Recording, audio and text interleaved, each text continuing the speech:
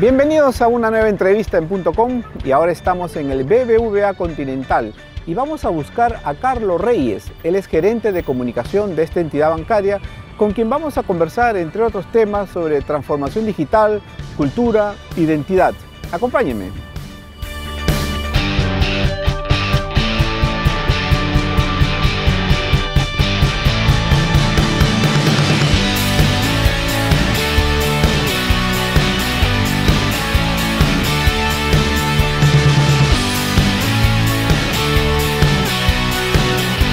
Carlos, muchas gracias por recibirnos en tu casa. Encantado, gracias por acompañarnos.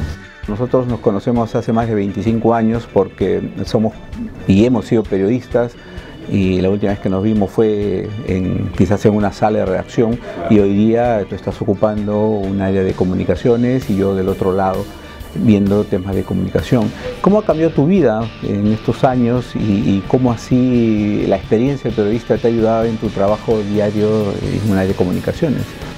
Yo creo que si no hubiera pasado por una redacción y hubiera, si no hubiera pasado por la calle buscando fuentes, construyendo noticias, eh, buscando eh, la novedad de, lo que sucedía, no tendría la posibilidad de estar en esta posición, que yo siento que es una continuidad del periodismo. no siento que he dejado de ser periodista por trabajar en el ámbito corporativo. Eh, yo creo que más bien es una manera distinta de encarar el periodismo donde tienes eh, un nivel de rigurosidad quizás mayor porque estás representando una institución y no estás eh, en el plan de simplemente presentar hechos, sino tienes que presentar hechos sumamente verificados, porque lo que dice la, institución tiene que ser verdad de pe a pa. ¿no? Y quizás los directores de comunicación nos hemos hecho en el camino.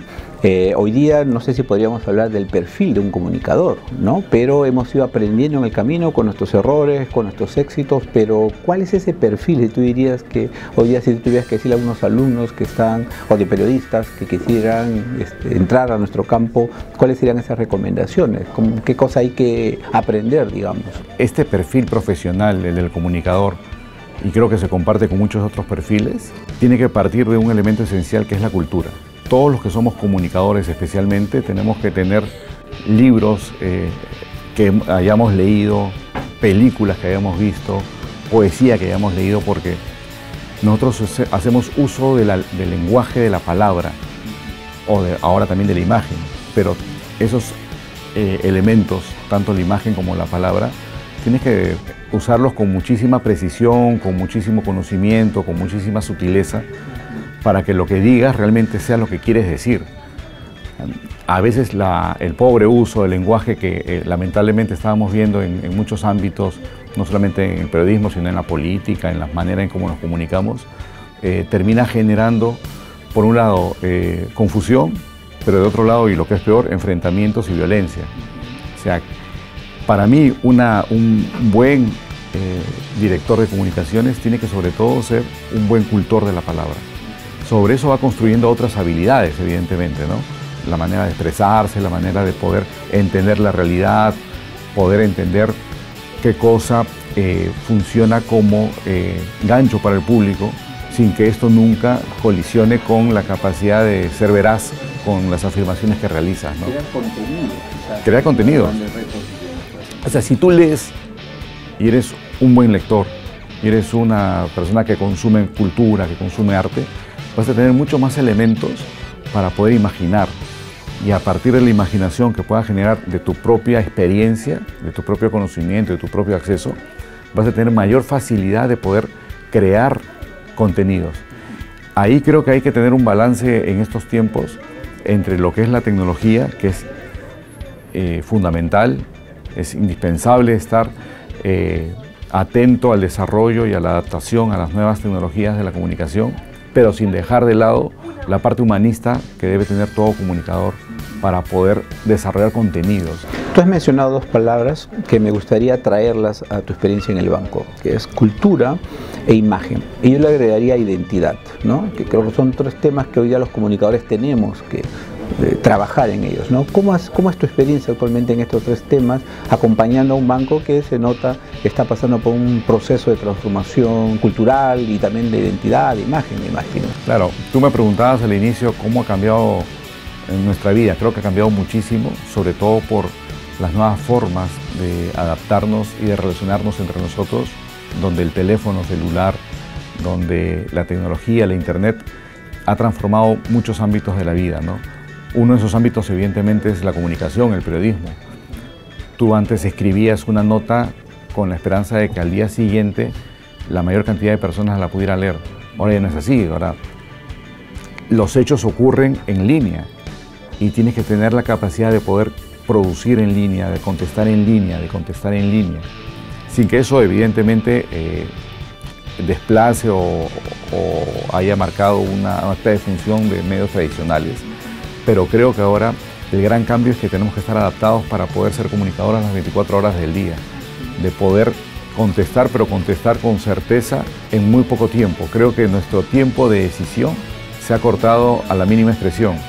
Aquí en BBVA Continental estamos atravesando un intenso proceso de eh, transformación y cambio porque queremos transformarnos en el mejor banco digital para todos los peruanos. Y ese es un esfuerzo que está haciendo el BBVA a nivel mundial, porque buscamos ser la mejor plataforma digital para realizar eh, acciones eh, financieras en todo el mundo de la manera más rápida y amigable posible. ¿Cómo acompañó la comunicación corporativa ese proceso de cambio? Quizás vio algo de identidad, de imagen. ¿Qué nos puedes contar sobre eso? La comunicación aquí ha sido fundamental. Aquí es un trabajo conjunto entre todo lo que se llama comunicación externa que trabaja marketing con nosotros, como la comunicación interna, porque el principal agente de cambio que nosotros consideramos eh, tiene una institución son las personas. Las personas son las primeras, los primeros embajadores en poder dar la buena nueva de, este cambio. ¿Qué significa el cambio? Porque no es el cambio por el cambio, es un cambio que le genera eh, beneficios al cliente, beneficios para su bienestar. Y en e-, ese cambio tenemos que trasladarlo en palabras, en imágenes, en acciones que sean coherentes entre lo que se dice con lo que se hace. Siempre hay un, gap que hay que desarrollar, que hay que, perdón, acercar, pero creo que la comunicación, si no es precisa, si no es profesional, si no enfoca bien los mensajes de qué significa este cambio, estamos perdidos. Pero lo que uno se da cuenta también es que a pesar de todo ese trabajo que hacen las empresas al interior, sus áreas de comunicaciones, por enfrentar este tema de digitalización, hay retos muy complicados porque el mundo digital se mueve muy rápido, con mucho caos. ¿no? Y ustedes de hecho pasaron una experiencia hace poco en el Mundial con el tema de las entradas que ya no todos conocemos, ¿no? ¿Qué experiencia le dejó ese hecho, por ejemplo?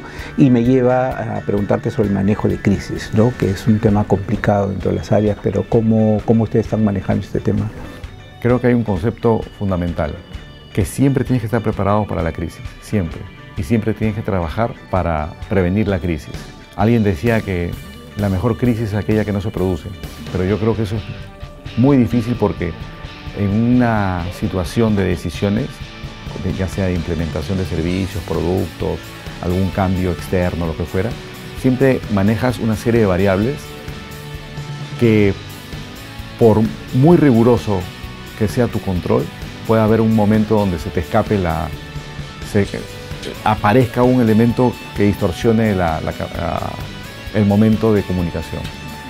Eh, pero fuera de eso, si tú te pones a pensar en esta crisis específica de la que hablas, creo que un elemento al que siempre debemos recurrir son los valores. ¿Cuáles son los valores que mueven a la empresa?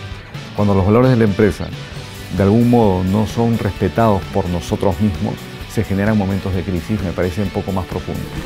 Carlos, me quedo con esta última frase de tu sugerencia de apoyarnos en, los valores para agradecer tu tiempo, estar con nosotros, participar de este proyecto.com y desearte muchos éxitos en el futuro.